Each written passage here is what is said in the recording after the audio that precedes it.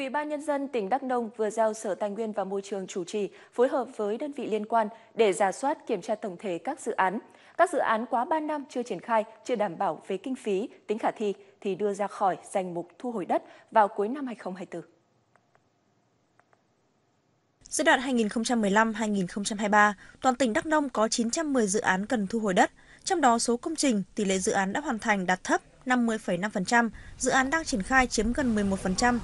dự án chưa thực hiện hơn 18% và dự án đưa ra khỏi danh mục thu hồi chiếm hơn 20%. Đáng chú ý hơn, nghị quyết của Hội đồng Nhân dân tỉnh Đắk Nông vừa ban hành cũng xác định một số dự án đã thu hồi vượt diện tích so với các nghị quyết liên quan của Hội đồng Nhân dân tỉnh. Công tác bồi thường tái định cư còn chậm so với kế hoạch, việc quản lý sử dụng đất sau thu hồi tại một số dự án còn thiếu chặt chẽ.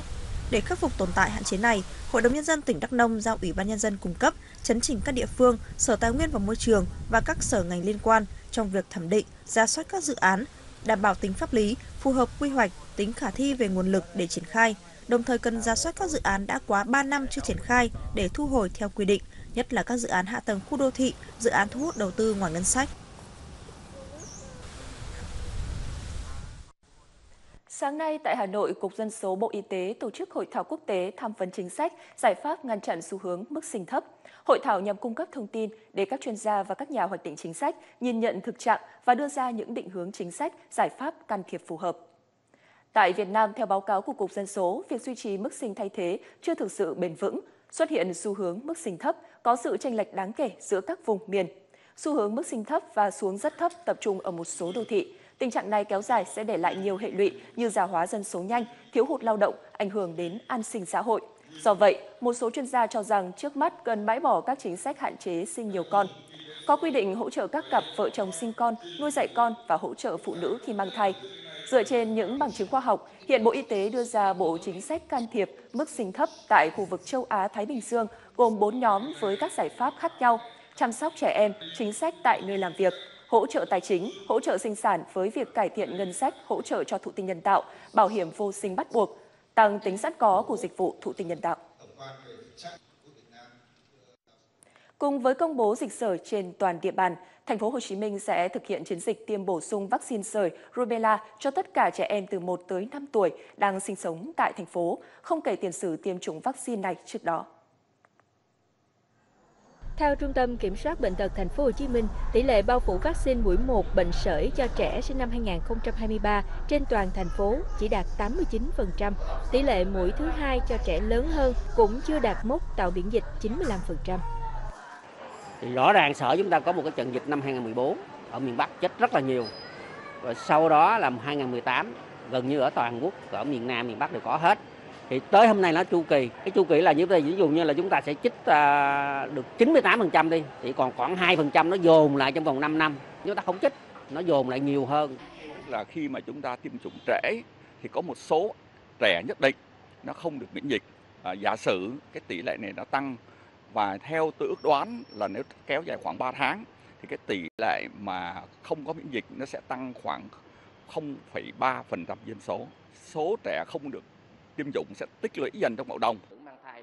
Theo ước tính, thành phố Hồ Chí Minh sẽ tiêm bổ sung vaccine sởi cho gần 518.000 trẻ em theo hình thức tiêm chiến dịch tại trường học, trạm y tế, bệnh viện. Chiến dịch kéo dài đến tháng 9 năm 2024. Ngành y tế thành phố Hồ Chí Minh khuyến cáo phụ huynh cần chủ động đưa con em từ 9 tháng tuổi chưa tiêm vaccine sởi hoặc từ 18 tháng tuổi chưa tiêm đủ hai mũi vaccine sởi đến trạm y tế xã, phường để tiêm vaccine phòng sởi. Nhằm ghi nhận và tôn vinh những đóng góp xuất sắc của các tập thể, cá nhân đội ngũ những người làm báo trên cả nước đối với sự nghiệp chăm sóc, bảo vệ và nâng cao sức khỏe nhân dân, sáng nay tại Hà Nội, Bộ Y tế phối hợp với Hội Nhà báo Việt Nam tổ chức lễ phát động Giải báo chí toàn quốc vì sức khỏe nhân dân lần thứ hai. Giải báo chí sẽ góp phần ghi nhận cổ vũ kịp thời các nhà báo có những tác phẩm báo chí đạt chất lượng cao, phản ánh bức tranh đa sắc màu trong hoạt động cao cả và nhân văn của ngành y tế Bên cạnh đó còn tạo điều kiện để các nhà báo được trao đổi kinh nghiệm chuyên môn, nghiệp vụ, góp phần nâng cao chất lượng hiệu quả hoạt động thông tin, báo chí đối với lĩnh vực y tế. Đối tượng tham dự là các tác giả công dân Việt Nam, nhà báo chuyên nghiệp và không chuyên đang sinh sống và làm việc trong và ngoài nước. Tác phẩm dự giải được viết bằng tiếng Việt về lĩnh vực y tế đã được đăng tải phát sóng từ ngày 1 tháng 10 năm 2023 đến ngày 1 tháng 10 năm 2024. về cơ cấu giải thưởng bao gồm giải nhất, giải nhì, giải ba và giải khuyến khích. Thời gian nhận tác phẩm từ ngày phát động đến hết ngày 1 tháng 10 năm 2024, tính theo dấu bưu điện.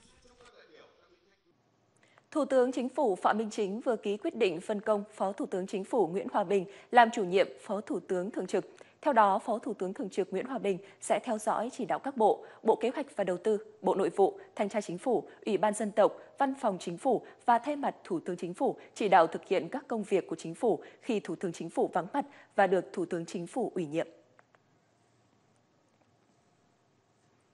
Còn nhiều bất cập trong việc xác định xử lý vi phạm với những công trình, hạng mục phụ trợ phát sinh trong khu công nghiệp, khu chế xuất cần có phương án tháo gỡ. Đây là nội dung được nhiều đại biểu quan tâm cho ý kiến trong buổi giám sát của Hội đồng nhân dân thành phố Hồ Chí Minh về công tác quản lý nhà nước về trật tự xây dựng tại các khu công nghiệp, khu chế xuất, khu công nghệ cao và một số khu đô thị tại thành phố Hồ Chí Minh. Đại biểu cho biết, trong các khu công nghiệp, khu chế xuất, có những trường hợp chủ đầu tư dự án xây dựng thêm các công trình phụ trợ như mái che nhà xe, nhà chứa rác, nhưng chưa làm thủ tục cấp phép sửa chữa, xây mới. Xây dựng xong xuôi hết rồi, thế giờ tôi làm thêm một cái mái che, làm thêm một cái mái trái kế vô, thì cái xác định hành vi vi phạm đó là xác định hành vi vi phạm sai phép, là công trình nó uh, anh xây nó khác, công trình tôi cấp một cục, anh thêm cục mới nữa là sai phép. Hay là chương trình công trình này tôi xây xong xuôi hết rồi, bây giờ gắn thêm một miếng vô nữa là công trình này là gì? Không phép. À, hai cái hành vi đó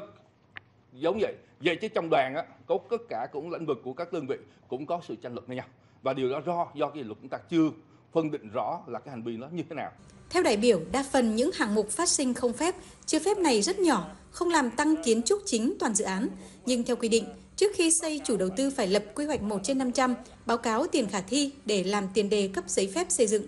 kiến nghị có thể là đối với lại những cái à, trường hợp à, mà nó phát sinh các cái công trình à, công trình tạm, công trình phụ trợ trên mà cái diện tích thì cũng nhỏ và không có ảnh hưởng, không có vượt cái mật độ xây dựng cũng như là cái hệ số sử dụng đất thì có thể xem xét cho doanh nghiệp được tồn tại cái công trình trên và sau đó đó thì sẽ điều chỉnh quy hoạch 1 phần 500 cập nhật cái cái máy che vào trong cái ờ, cái ờ, cái 1 phần 500 của doanh nghiệp. Tuy nhiên, theo đại diện Sở Xây dựng, để cấp phép xây dựng các công trình dự án phải tuân thủ quy hoạch, những hạng mục phát sinh ngoài giấy phép không phải là công trình tạm và cần xử lý. Riêng đề xuất xem xét cho các hạng mục này tồn tại và bổ sung điều chỉnh sau, đại diện đoàn giám sát cho biết đoàn sẽ ghi nhận, nghiên cứu và tổng hợp chuyển tới các cơ quan hữu quan trong thời gian tới.